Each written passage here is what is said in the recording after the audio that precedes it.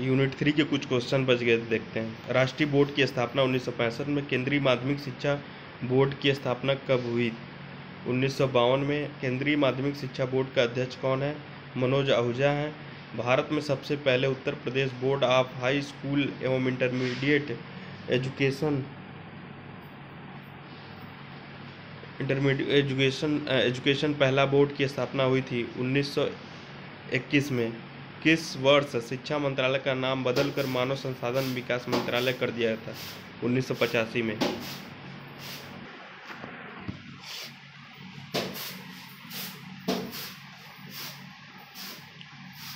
विद्यालय प्रधानाध्यापक में कौन सी नेतृत्व शैली बेहतर है?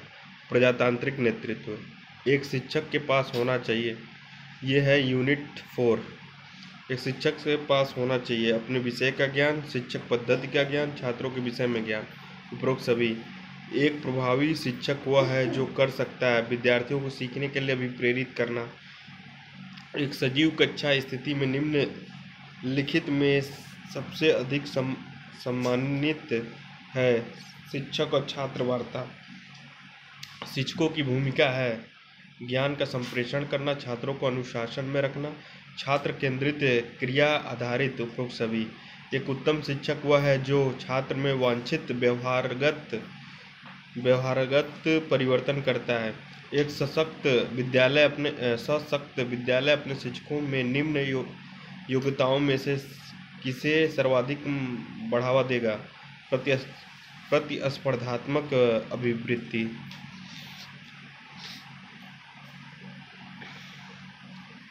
जब अध्यापक प्रथम बार कक्षा या कक्ष में प्रवेश करे तो उसे बात करनी चाहिए अपने और छात्र के बारे में।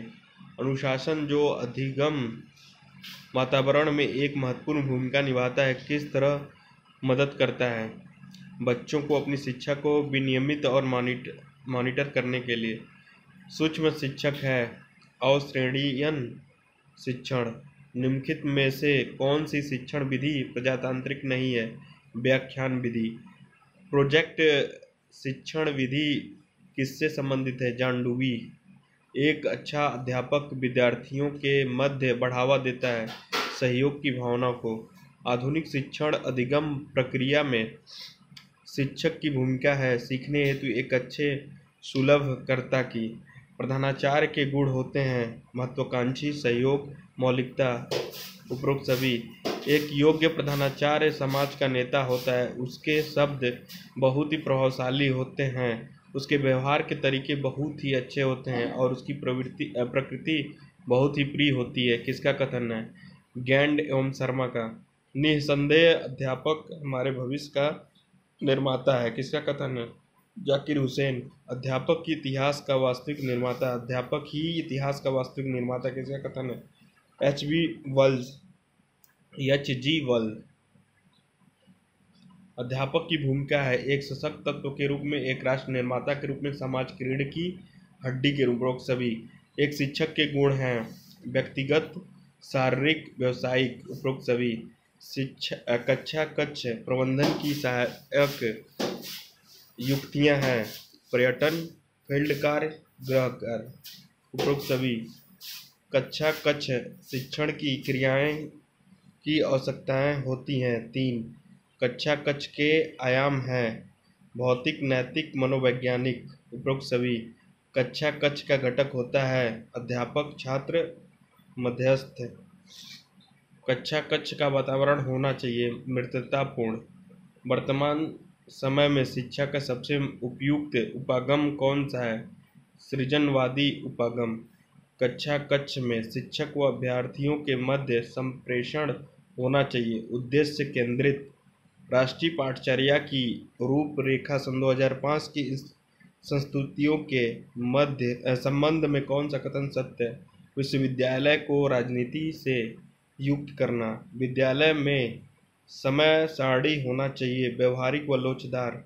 विद्यालय नियोजन, मूल्यांकन का प्रतिवेदन किसे प्रेस, प्रेषित किया जाता है? जिला शिक्षा अधिकारी को कक्ष कक्षा कक्ष में एक ही विषय के पीरियड लगातार नहीं होने चाहिए। नहीं होने चाहिए। दो, समय सूची स्कूल का स्पार्क प्लग है, जो स्कूल के विभिन्न कार्यों तथा कार्यक्रमों को संचालित करता है। किसका कथन है? जसवंत सिंह सिंह का। समय सारणी समय सारणी के प्रकार हैं। संयुक्त समय सारणी, अध्यापक समय सारणी, कक्षा समय सारणी, उपरोक्त सभी। डिसिप्लिन शब्द की उत्पत्ति किस शब्द से मानी जाती है? लैटिन। दंड का सिद्धांत है। प्रतीकात्मक उदाहरणात्मक उदाहरणात्मक सुधारात्मक, उपरोक्त सभी। विद्यालय में छात्रों की अनुशासित रखने के लिए आप स्वयं अनुशासित में रहेंगे। विद्यार्थी में अवांछित व्यवहार को परिवर्तन करने में सबसे प्रभावी पद्धति है। वांछित व्यवहार के कारणों को ढूंढना एवं उपचार का प्रयोग करना। अपने विद्यार्थियों को समझने के लिए एक शिक्षक में आचरण अधिक जानकारी होनी चाहिए। उपरोक्त सभी बाल मनोविज्ञान की, बच्चों को समझने की प्रवृत्ति विषय वस्तु के प्रति विद्यार्थियों के मत की। उपरोक्त सभी पाठ सहगामी क्रियाओं का अन्य नाम है। पाठ सहायक क्रियाएँ। पाठ सहगामी क्रियाएँ होती हैं। सामूहिक ड्रिल, स्काउटिंग, बागवानी उपरोक्त सभी। शिक्षा तभी सार्थक होगी जब छात्र केंद्रित हो। शिक्षक का मूल कार्य है अध्ययन के लिए अनुकूल वातावरण तैयार करना। वर्तमान समय में शिक्षा की दुर्दशा का मुख्य कारण है। शिक्षक छात्र का विषय अनुपात। छात्रों के अनुशासन बनाए रखने के लिए एक शिक्षक की कौन सी भूमिका सराहनीय है? शिक्षक की कक्षा प्रबंधन की क्षमता। शिक्षा के माध्यम से कल्याण होता है समाज के सभी वर्गों का।